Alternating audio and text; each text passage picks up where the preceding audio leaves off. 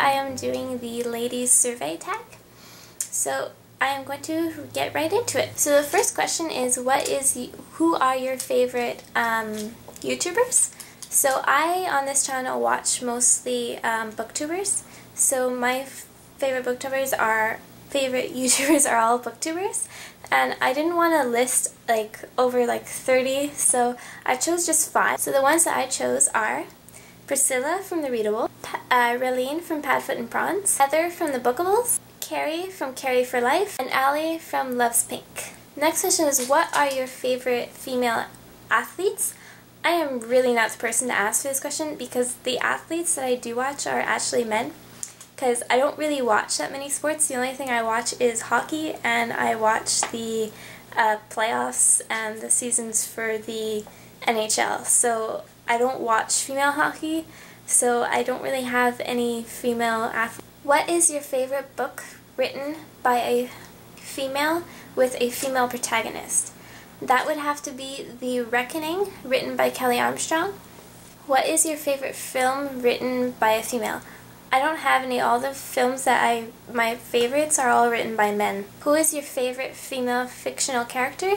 That would have to be Hermione Granger. She is my favorite. I love that she's intelligent and she, she loves to read and I just, I love her, her courage and everything. Like, she's my favorite character. When J.K. Rowling made her character, I loved her. What is the biggest problem facing females today? For me, I personally find it's the fact that we are basically after are like because for like TV and things, I'm noticing that it's like we're expected to basically look a certain way and like I find there's no classiness to women on TV anymore. I feel like we are all really exposed, like that we're supposed to show our skin, and I think that's really wrong.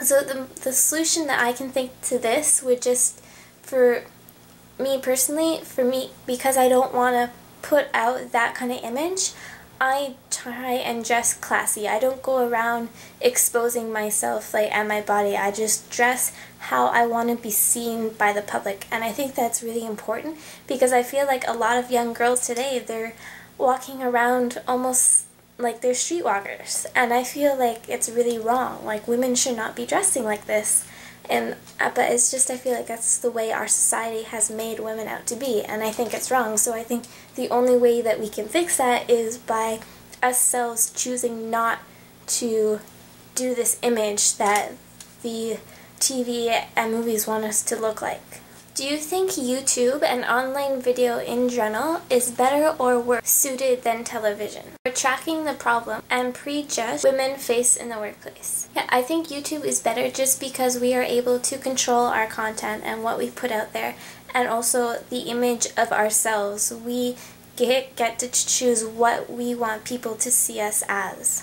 What do you pledge to make the internet better? For me personally, I to make things better, I just want to be welcoming and nice and supportive of everyone out there who creates content because there are many people who put out videos and get really nasty comments like it's really not necessary like we should all be supporters of each other and just be nice to each other there's no need to put out hate comments if you don't want to watch someone's video if you don't like their video you don't have to so you should just be nice to the people who you are watching their video. You're the one who chose to watch that video. You're the one who chose to leave a comment. You don't have to be mean to that person. It's wasting your time and it's wasting their time. So I feel if we were all just nice and supportive to each other, the internet would nice environment. So everyone who I am tagging, I am going to leave their names below.